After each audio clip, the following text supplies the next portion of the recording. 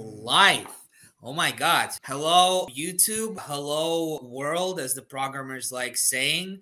Hello, gamers. Hello, game developers. Hello, everyone else. I am Lev.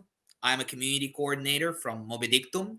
With me in my wonderful online studio today is Jaakko from Kaala Gameworks. Yeah, people are still coming over. Let me quickly do a bit of Discord promotion last second, uh, just to make sure that people know we are we are. Yeah, what can I say? I mean, it's really um I've had a couple of experiences recently with 4X games. Kaala Gameworks is known for developing 4X games. Uh, and I mean, strategies in general are a rather interesting genre.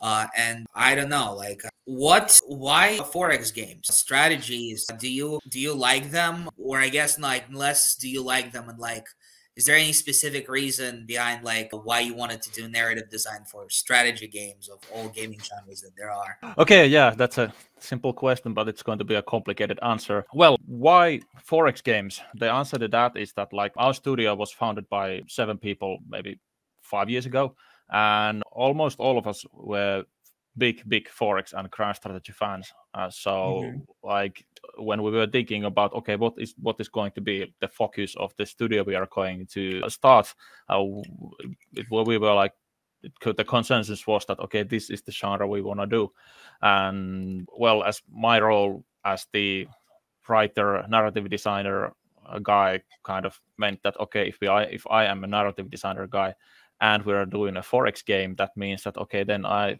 will end up doing narrative stuff for a 4x game. Uh, but we also wanted to try something new uh, with the game in the sense that many of us, as 4x veterans, felt like there aren't that many very like deep story experiences within 4X genre, which is quite understandable. But at the same time, we felt like there is something we could do, something special we could do here, because those kind of experiences where you are at the same time leading a nation through war and diplomacy and everything, but at the same time, it still has a real immersive narrative experience where you actually talk with people and everything we actually, wanted to tell us try to do that. Bit, pardon, I, I, I interrupted. Yeah. Like, can you tell us a bit actually about the premise of uh, Pegasus Expedition and what is it that the player sets out to do in that game? Yeah, well, we were thinking about the basic setting and the that kind of science fiction that has war with uh, war between humans and aliens generally starts with the aliens invading humans. And we felt like, what if the humans are actually the aliens and they invade the other aliens.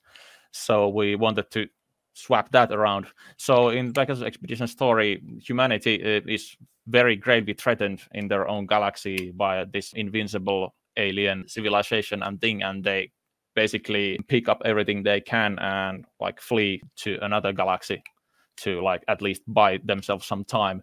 And that another galaxy is actually full of other civilizations and races and everything. So that kind of starts a domino effect when a big group of desperate and heavily armed people arrive in that galaxy. Yeah, that sounds insane in a sense that it's very interesting how, you know, they were attacked and then they sort of, in the process of migration, move into the territory where others live. But it always makes me curious about, you know, like if there were any historical inspirations behind the story and uh, like how do you use the historical inspirations in your narrative design? Yeah, that, that is a good question because the answer is yes. Yes, there is. So like the original inspiration for me was probably like the Huns during the late antiquity and how that created the chain reaction of other peoples fleeing towards the Western Roman Empire and everything that happened afterwards. So kind of that was the example or the formula for me that how this kind of migration could happen and how we can like create a lot of conflict without like making the player and the humans like being the very very bad guys because i've always found very black and white these are good guys because they are good and these are bad guys because well they are bad guys. It's always quite boring and in history that happens very very rarely. Most of the time there are just conflicting interests and then things happen. So i to to to like the latter part of your question that uh, do i draw inspiration from history in narrative design? Like when deciding what's going to happen with the world and like this the big picture stuff i a lot a lot take inspiration from history like not not plagiate but like take inspiration in the sense that okay this situation here resembles our situation in the story that much that i mean the same kind of conclusions or what happens next or what follows from that um, is like believable realistic plausible yeah. in that sense this also makes me curious because you know like for 4x a lot of story is ultimately crafted by the player right? The player is the one making executive decisions. Uh, the player is the one building infrastructure fleet sheep ships. And i was sort of wondering how can you compare uh, or like how can you bring in fixed narrative with this player made narrative in a way that makes a player interested in playing your game? Yeah, that's that's a question we we thought about a lot during the production of the game because 4X games are inherently quite sandboxy and generally the freedom of the player to do basically anything they want is a big feature and if you want any kind of overarching uh, narrative that actually has anything to do with the world and affects the world in any way, then it just has to put up some boundaries because otherwise like the story says one thing and what's going on is something completely different and that this kind of disconnection uh, develops. And that sometimes happens with some in, in some 4x experiences i have had. So first off we wanted to have that storyless mode where there's still like the the emergent text boxes are there but the overarching story is removed. So when the player watches something completely sandbox, there's like four different scenarios for them to play. One of them is that very classic you are randomly put on the map and then just mm you do what you do. And but I've noticed, this... like also uh, resources change for each of them. Like there are different conditions that sort of augment each of their play styles. Yes, yes, the factions we wanted to make them different because because that, that that's that's what like gives replayability and makes it makes it more interesting.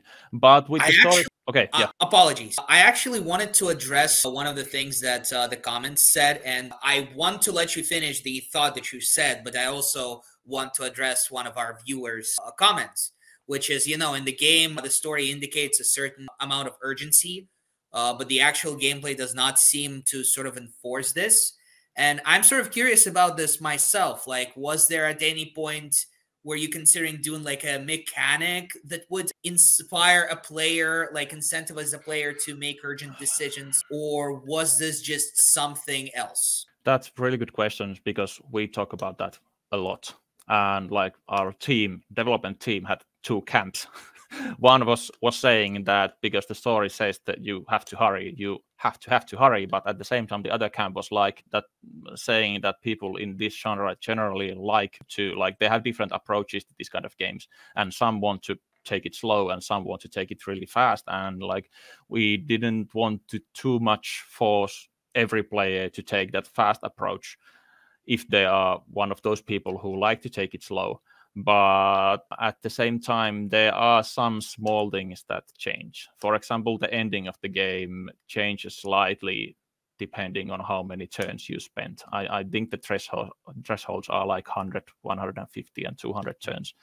So like uh, uh, some spots we wanted to like that react to a bit uh, to the player but we didn't want to interfere with the player's play style too much because that that could have been unpleasant. Yeah. Yeah, and I see we have one fan already actively engaging. Uh, I mean, I've sort of noticed a certain, not necessarily dissonance, but more so a feeling as if, you know, uh, I want to start building up my infrastructure, right? I want to start playing in a way that works for me best. But at some point, I just start feeling as if I need to follow a very specific set of instructions in order to proceed through the game, which makes me uh, as uh, somebody who likes strategy for its opportunities of individualistic storytelling, curious about whether uh, whether you would consider how do I put it? What would you change if you were to make another storyline, another narrative for a 4X game. And if you had an opportunity to make to make another 4X game, yeah, what changes would you make to your story storytelling process? Okay, that, that's a good question too. I'll quickly go back to the earlier one because it's really part of my answer to this one. But like the, our answer to that, how do we keep the story and the sandbox consistent, was putting like some boundaries that some factions are kind of special and the player can't like declare war on them at least not before it's the right time. But at the same time we left like 80% of the galaxy like completely free for the player to like deal with it as they please. Uh, and how what would i do differently? I mean, I feel like we achieved something very special in the sense that what happens in the galaxy, the early part, like the first 30 turns or something, are kind of an intro. The galaxy is not actually in that very in that state in which it's going to be when you actually can go all of the to all of the galaxy. There's that big big old empire that is like the player causes the collapse of that empire and like most of the stuff going on in the galaxy after that is like the the new situation where that empire has collapsed and they like the the, the people of the empire are trying to get that back on and the other peoples who have been repressed by the empire are finally Uh, becoming independent and everything so it kind of causes the player causes in the beginning that explosion that kind of makes the galaxy unstable as a whole so in that sense it, it needed that early part where we both introduce player to the game and we kind of let the player see the cause of everything that happens afterwards. But now finally, I'm finally getting to the, my answer to the question. I really like what we achieved there.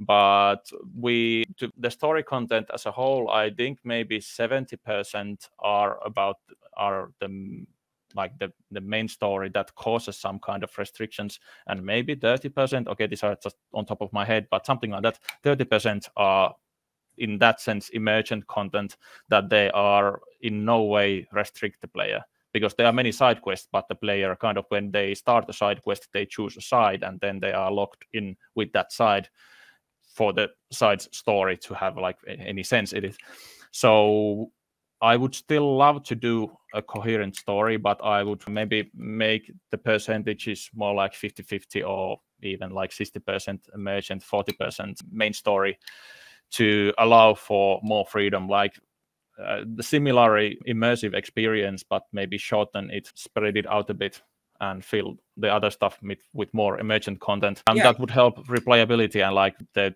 game would probably be interesting in even a third playthrough I mean, if the imagined content is different every time. Yeah, I mean, I'm a writer myself, and you know, it's definitely games are one of those mediums where you know it's a tricky thing of how to write for games because you know unlike a film or books you aren't really the your what you want to say doesn't really matter as much as what a player can do with the game you design right? And it's very interesting helping players like ask different questions with the games you make uh, and with the consequences to the actions they make. And uh, I guess one of the questions I really want to ask you is Are there any uh, interesting narrative examples from Pegasus Expedition of where a player's consequences and result in storytelling? You were like player action actions. Whoa. Yeah. I mean, like the main story has some choices in it, but because in the end it's about saving Earth, and we I'm sorry, but we didn't give like let the player abandon Earth because that would be like admitting defeat in the beginning. So the player kind of either succeeds in saving Earth or they don't. So that that's kind of black and white in that sense. But that's not really about the Pegasus Galaxy at all. That player just like enables themselves to save the Earth back home, but it's it's not that doesn't really affect what they do in the Pegasus Galaxy. And then there are plenty of side stories that have to do with the different civilization of the Pegasus Galaxy, and those can be resolved in in, in many ways. Like the player can, of course, just ignore that. Okay, I'm not going to take up this. Uh, these factions are going to remain like free prey for me.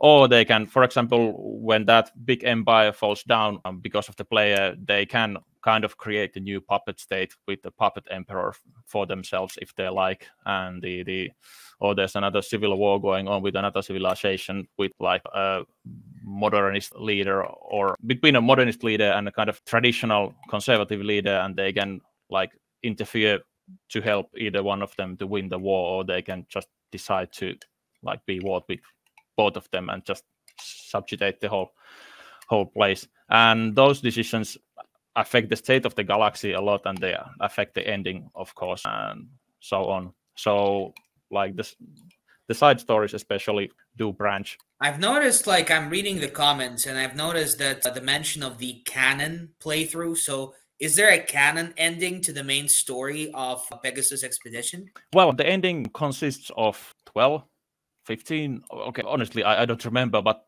let, let's say 12 different parts.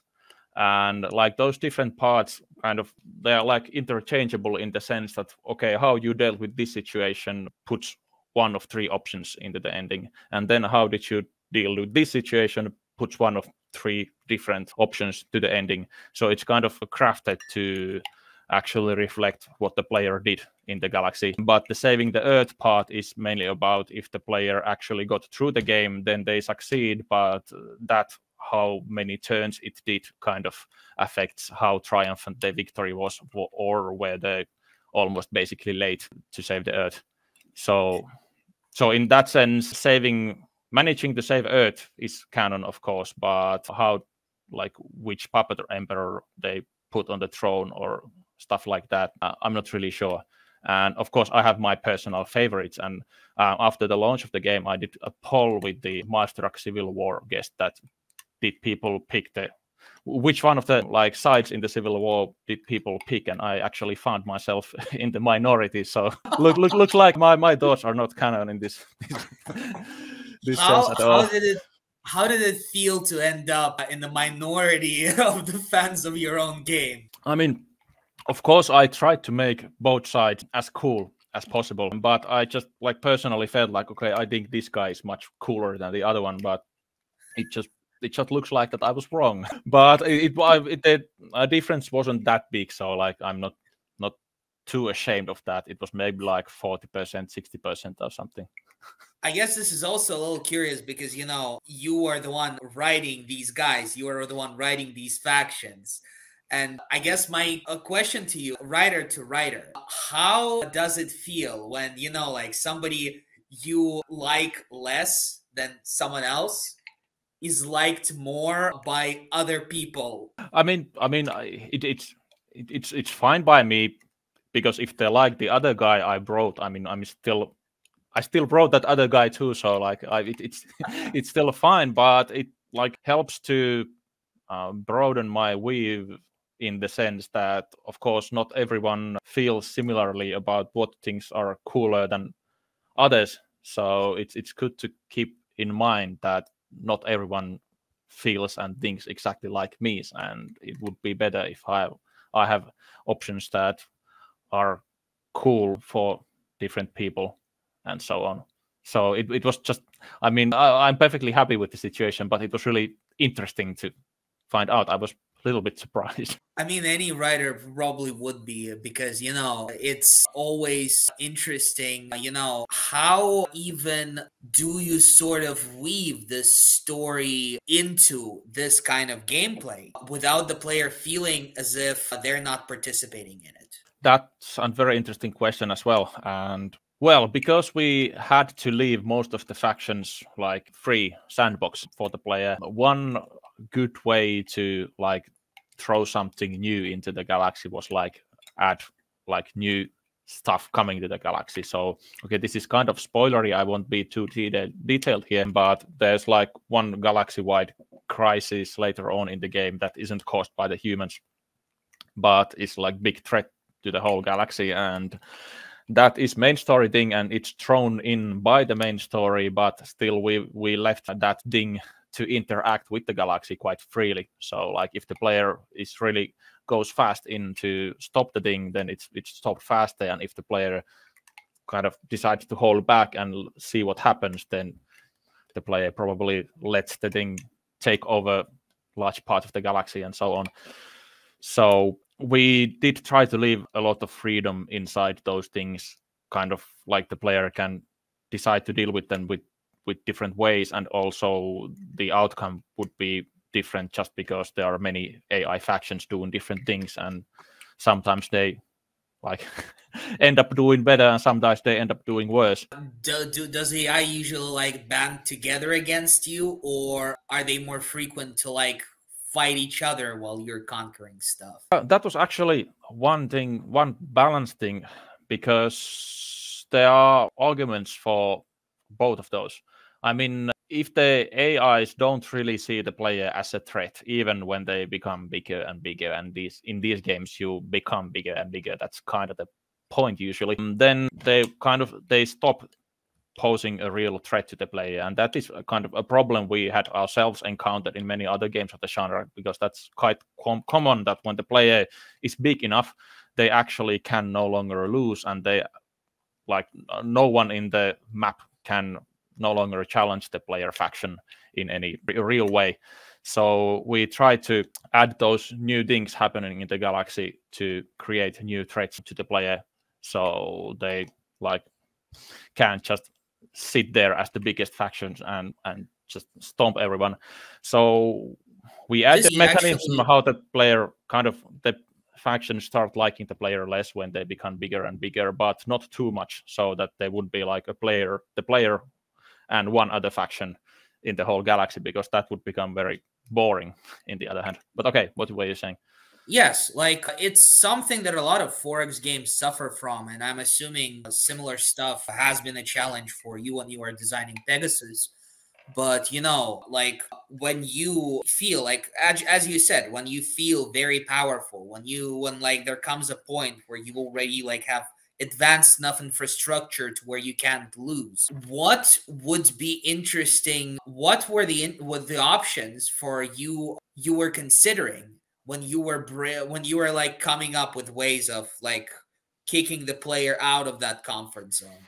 Were there any other interesting ideas that you may have brainstormed but may have not executed? Or maybe you'll want to execute them next time. Are there any new things you want to try out on this genre on that front?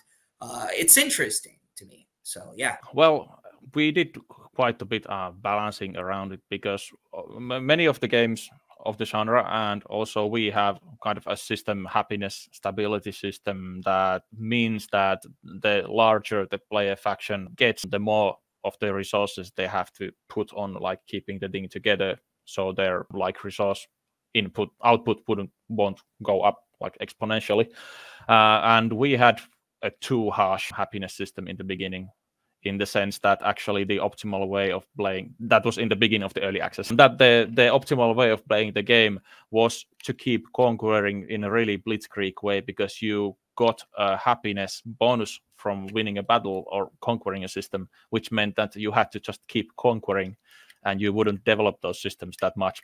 Uh, so you wouldn't try to build happiness infrastructure structure you would just like keep conquering and keeping people happy because every day you have conquered something new. But that that was kind of against our idea of letting people play it slow if they want to. So we like made the system a lot more lenient. But i mean basically i feel like if we talk about other factions other than player faction uh, we have basically two options. One is to give something special to the existing factions. That kind of steps on the sandbox but not necessarily too much.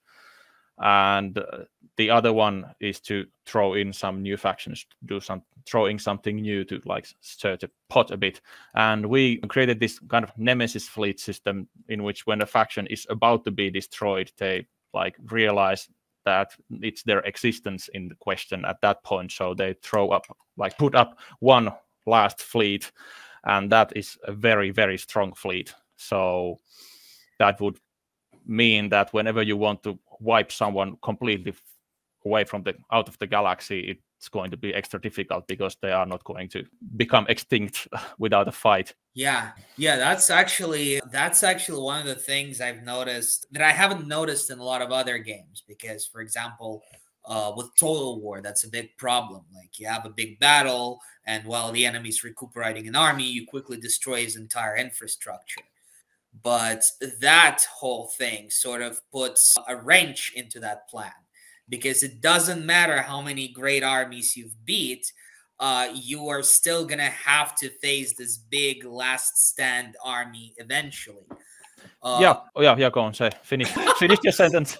yes, yes. Which sort of also kind of like knowing this as a player that kind of discourages you from wiping these fractions out completely, doesn't exactly. it? Exactly, exactly. That was our aim. That was our aim. It, it's cool that you pick it, pick it up immediately. But our because the map gets more and more boring the less there are faction, the less factions there are. That that happens in every game, this kind of game. That if that the less when there are less factions, there's just less stuff happening. So we want kind of to tip the player the balance with the player decisions that okay it may be actually more beneficial to like leave them let them exist as a three star systems small faction and like just extort some resources out of them rather than spend all those resources to completely wipe them out at least immediately so yeah that that was exactly our idea yeah, I'm seeing also the comments. Uh, the last stand army weakens their other fleets. Oh, yeah. I mean, I, I, guess that's the point. Like, if we can't destroy them, you know, we're going to at least we're going to at least uh, make it hard for them to conquer others. You know. Uh, yeah, and also the AI gets it. If there are two AI factions at war with each other, that same situation can trigger as well, which hopefully the, the aim was also to kind of help the AI factions to stay alive a bit longer because it's harder for them to destroy each other. Honestly, this is one of the questions I do want to ask as well. Uh, that I didn't think about writing down, but I do really want to know. How do you design AI for rivaling factions uh, in a way where a player feels as if it's a living civilization? Okay, the first thing, the very first thing I'm going to say that it's complicated. AI for these kind of games is complicated and it, it really is not easy. And I can say with other games that like often the AI still doesn't feel like it's making rational decisions that a human would and the reason is that it's it's really complicated.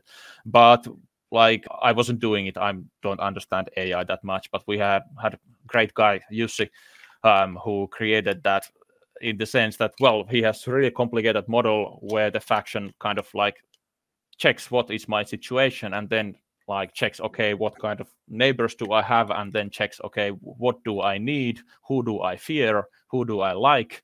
How can i change that? And then it like allocate its resources to building or creating armies. And it feels if it feels like okay i don't like this neighbor and also i'm stronger than that neighbor then they can decide that they will go to war and everything. So they kind of every faction we try to make it so that every faction really tries to see what is their beneficial to them and then act accordingly. As a narrative designer, was there at any point any significant input that you've uh, put into the development of that AI? Were there like any specific demands you as a narrative a person wanted AI to have? Well, with the human factions, they are kind of a special case because they are very story relevant factions and the player can kind of fight them, but only at the relevant point in the story. The other factions, like I, I felt like it's great idea to just have them act as sensibly as possible because that's that's what we're trying to achieve with that. Though they have like that cultural kind of thing that they dislike other cultures a bit more than they dislike other factions of their own culture, which is quite natural there. But with the human factions, especially because the player actually discusses the situation with the other human leaders and the player can actually suggest or even demand them to act in a certain way for a while like okay guys stop expanding right now and like try to consolidate what you have please. So the story system there's like actually when i've designed the story by actually writing json files with commands that the game runs i actually have written like commands for those factions that okay now you have to like like take this kind of more passive defensive stance for this amount of turns and stop stop expanding for a while. And so so what i wanted was like okay you can have the ais to do what they feel like is the best but give me some tools to give commands to the ais so they can act the same way they pretend they are acting when they are actually talking to the player because some of the faction leaders actually talk with the player quite a bit and it would be would be a bit funny that if they acted like, oh, I'm so peaceful and I've, I've never hurt anyone, and at the same time they are the biggest dictator and conqueror in the galaxies. Yeah, that's a bit of a dissonance that I've sort of really wanted to uh, ask a couple of questions about as well. Like, uh, how do you ensure that this dissonance does not occur? Because you know, it does hamper players' experience when you know they they see a peaceful guy, they see Gandhi, but then Gandhi throws a nuke. oh, the classic the civilization classic. example. yeah, and we we actually had a kind of a Gandhi situation with the other one of the three human factions that Dara's combined fleet is meant to act more defensively and more peacefully and like in the discussions with the other human leaders they are the one ones who advocate for more peaceful approach and and and during the early part of the early access and during our testing, they were just out of control. They would out conquer the player. They would envelope the player, like like flank them and then go in front of them and kind of landlock the player. and at that point, people are like, okay, this this that this is exactly the kind of dissonance that we don't want to happen. This is just stupid. So either I change the story and make them like warlike lunatics, or we have to put some control them a bit. How did you solve this? Uh, well, we solved it by giving them a kind of time locked boundaries in the sense that okay during first 20 turns you can have only maximum of 10 systems if you lose some you can conquer back some but then you stop and you build up and then when 10 turns have passed we up the limit a bit and then they can okay now you can conquer five systems more if you can um, but you can't conquer 100 systems in 20 turns because that's what they originally did. Oh wow. That sounds that sounds definitely insane. That sounds definitely a lot of fun. That does sound like something I want to play even more. but I'm sorry, now they are kind of kind of defensive and docile as they, they they're supposed to be. Oh, oh no, I I hate the part where like your ally faction just over over conquers you and I mean, I was interested in asking, like, sort of the game dev solutions. Like, if somebody else, like, if another person designs a similar game, what advice would you want to give them on designing ally factions in a way where they help but don't overhelp? That that's that's a great question because I personally actually hate the situations like, like, like for example in Total War franchise because I'm a huge fan of that franchise. I've played so much eh, every every game of that franchise. But in some of the games you cannot trade provinces. In some you can in some you can't. And in some you can but they just won't sell you even if you offer them like 50 provinces in return. And then that your ally comes in and helps you by conquering that one province that you have been aiming for for so long. And the only option is to betray them to get that back. And that's stupid. So Mm, we wanted to 100%. yeah yeah I, I i hate it hate it when it happens because okay I'll, it's like i love this ally but now you made a mistake. Uh, yes. so so our solution was that they are quite willing to sell systems to the player. Okay they, it, it's possible to exploit it a bit in the sense that the player fights less and just buys the systems the other factions have conquered but that in, in a sense it's just a gameplay approach. You can also like be this mercantile industrialist who doesn't fight that much but just comes in with the money when someone else has conquered something and that can work too. But the idea was that the, if the allies get in the way the player can like buy them off. And the other thing is by the end of the game the fixed allies okay this is kind of a bit of a spoiler but the fixed allies basically don't exist anymore. Stuff happened to them. And in the end and if they were in the way you will get the chance to claim those system back systems back even without buying them. Mm. so like the nuisance may happen but it will be only temporary. And i guess i was also a little curious about the free for all like in that one you have alliances. So actually no look we have a couple questions from the chat like was it intended that you know I had many, millions of minerals of the uh, infinite Corvette swarms destroy it all. Okay, yeah, this is one one more balancing issue that in most of strategy games, by the end you will have millions of whatever the currency is in the game.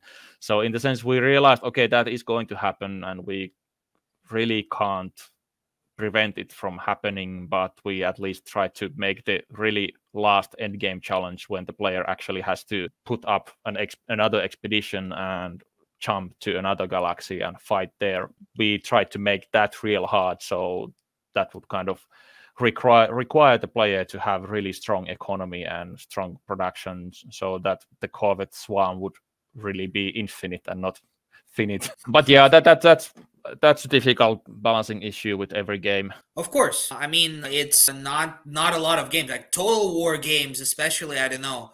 Uh, up until Warhammer 3, they suffered so much with late game challenge. And uh, it's totally normal for your game to suffer from something similar every now and then as well, simply because, you know, games in your genre uh, do this all the time. Uh, but I guess what really matters to me personally, as somebody who is very passionate about game design, somebody who likes 4X, is I'm really curious about the lessons you learned working on Pegasus Expedition. And considering that some of the viewers I usually have on my channel are also game devs who want to develop games and hopefully want to develop 4X games as well, what advice may you, as somebody who already released the title in that genre, what advice may you give to someone who would want to follow in your step and design a game like Pegasus Expedition? Well, we we I think the development of the game took all in all like three and a half years, maybe. It, it could have been a lot less, but four years ago we were quite unexperienced, inexperienced, and also the original vision of the game was something completely different. It was so, supposed to be a kind of a real-time RTS kind of thing with no grand campaign at all. And then during the first half a year we just realized that okay we have this kind of ideas with that we could add into it and those new ideas are actually much more fun than the original idea. So we like let it change a lot but i think that was a good idea because if we had just like kept with the first thing even though even we didn't feel like it's fun so that that would have would not have ended well so well, maybe my my advice number one is that if you think something is going to take six months, it's going to take a year. And if you think something is easy, it's not. so I, I mean, so, so the, the lesson here is that if, if I think something is going to take six months, I have to like dedicate 12 months and then be happily surprised if it took only nine months.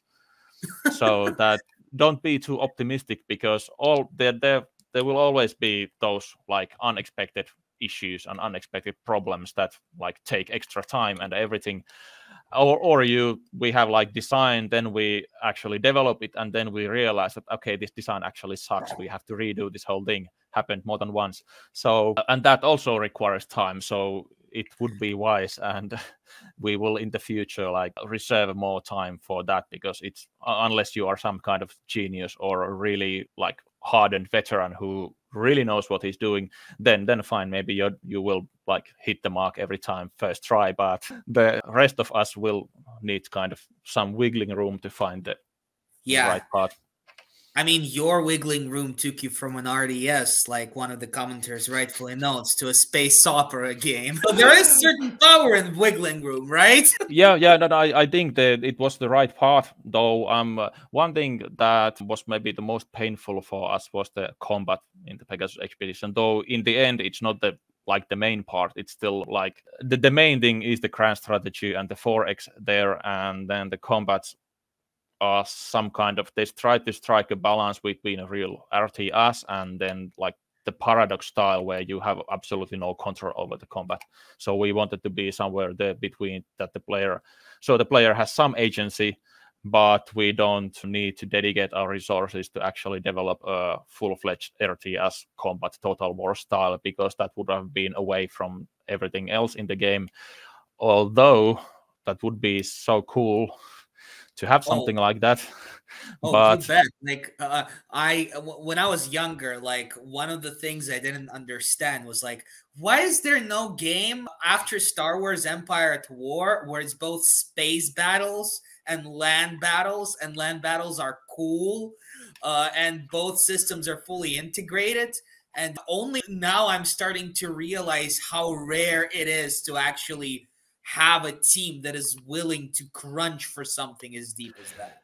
Yeah, I mean it, it's always cool when game ha- games have something like that, but it, it is basically two games inside one.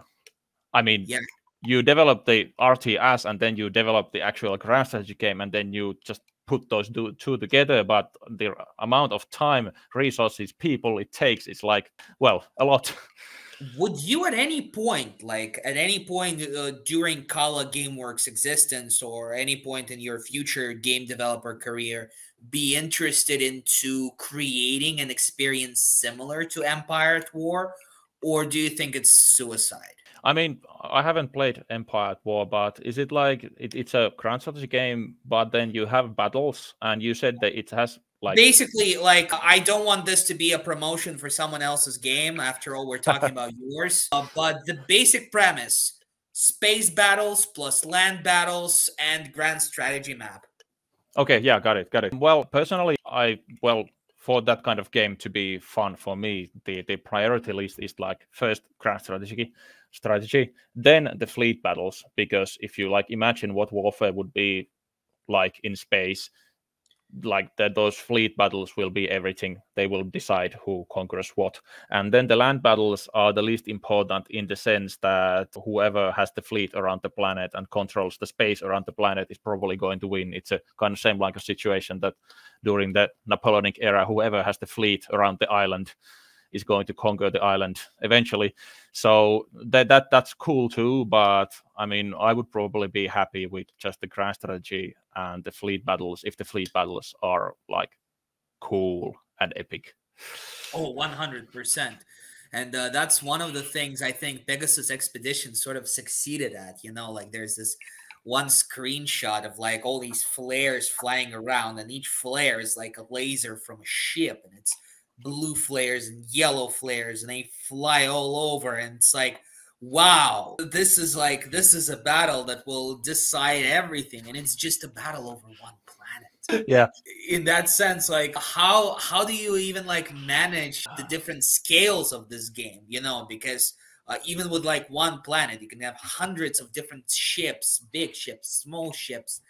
How do you not go insane managing that scale? Uh, well with this game, we kind of wanted to still take one step back from full RTS because if it was full RTS, then the player would really have to manage everything by themselves, and we felt like that would take like take up too much of, of the game. So with with the uh, combat in the Pegasus expedition, you like you set the approach routes for the fleets, but then when the combat starts, they kind of they follow the orders you gave beforehand, and at that point you you don't like you can't give them more direct movement orders, but you more like just see how your battle plan worked out.